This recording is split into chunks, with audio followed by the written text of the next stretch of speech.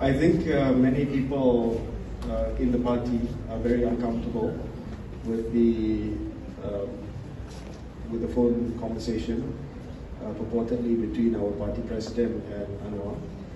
I think that Sri Zahid's position is increasingly untenable as president of the party. Uh, the party Supreme Council must meet immediately uh, and allow for the party elections to take place immediately. Zahid's position, as far as I'm concerned, is already untenable.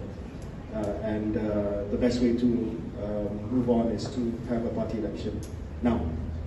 Don't wait until the end of the year. Okay, thanks. Thank you.